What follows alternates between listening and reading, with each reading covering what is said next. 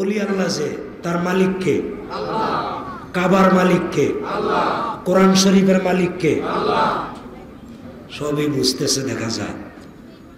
যেগুলো আপনি ষাট বছর, সত্তর বছর আপনার জীবনে ও ওয়াজে কোনোদিন শুনেন নাই, সেই বিষয়গুলি এখন আমি ক্লিয়ার করে দেব আমার হুজুর কেবলার খাস নির্দেশে। আলহামদুলিল্লাহ তাহলে আল্লাহর অলিদেরকে যদি ভয় করে, আল্লাহর ভয় হয়ে যায়। কোরআন শরীফের মধ্যে মজার কথা, ইয়া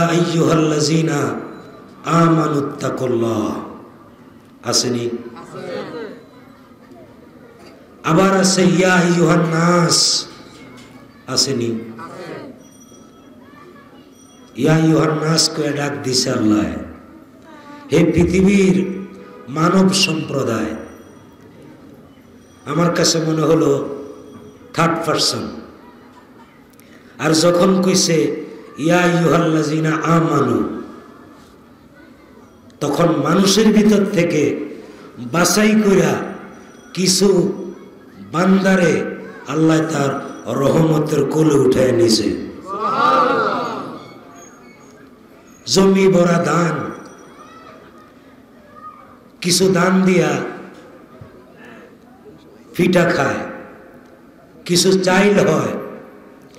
আবার কিছু দান জমিনের মালিক যত্ন কইরা বীজ দান হিসাবে আলাদা করিয়া যত্ন সহকারে একটা ভালো জায়গায় রাখে।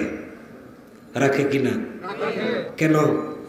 এই ধানগুলি দিয়া জমিন আবাদ হবে। বীজ দান দিয়া জমিন। এই মানুষের মধ্য থেকে আল্লাহ কিছু মানুষের বাছাই কইরা, আমানু কইয়া, ইমানদার কইয়া কাছে ডাইকা নিছে, তাদেরকে দিয়া আল্লাহ তার দিনের আবাদ করবে। কিসের আবাদ? দিনের আবাদ। আপনার চার পাঁচটা বাচ্চা আছে। যখন নাম ধরে রাখেন তখন এক সাত আবার খাস ভাবে ডাকা, বাবাই ছেলের ডাকে, আব্বু, আব্বুকে ডাকে কিনা? মেয়ের ডাকে, আম্মুকে ডাকে ডাকে কিনা? এই ডাকটা আম না খাস? এই ডাকটা কি আম না খাস? মোহব্বতের ডাক।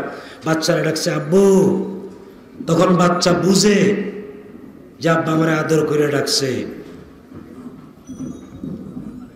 নাম ধরে ডাকে, এর মধ্যে লজ্জত নাই। আইহান নাস বলছে আল্লাহ, মানব সম্প্রদায়, মানুষের ভিতরে হিন্দু, বৌদ্ধ, খ্রিস্টান, ইহুদি, নাসারা আছে না নাই? মানুষের মধ্য থেকে লক্ষ লক্ষ, কোটি কোটি মানুষ জাহান নামে ছেড়ে দেওয়া হবে। কিন্তু একজন ইমানদারকেও আল্লাহ জাহান নামে ছেড়ে দিবে। সুবাহান বলবেন না? মার হবা কর। দেখেন এই জন্য আমানুকে যেখানে ডাকছে, সেখানে মজা। এই ইমানদারদেরকে আল্লাহ দুরুদ শরীফ পড়তে বলছে, সল্লু আলাইহে ওসাল্লিমু ইয়া নাস এই কথা বলে আল্লাহ দরুদ শরীফ পড়তে বলে নাই। কারণ কোটি কোটি মানুষ তারা দরুদ পড়বে না নবীরে সালাম দিবে না আল্লাহর এলেমের মধ্যে জানা আছে। এই জন্য আল্লাহ বাসাই করা ইমানদারদেরকে বলেন তোমরা আমার হাবিবের প্রতি দুরুদ সালাম পড়ো। মার হাবা কর ইমানদার যারা তারা মানুষের মাঝখান থেকে। যদিও মানুষ তারা জান্নাতি মানুষ।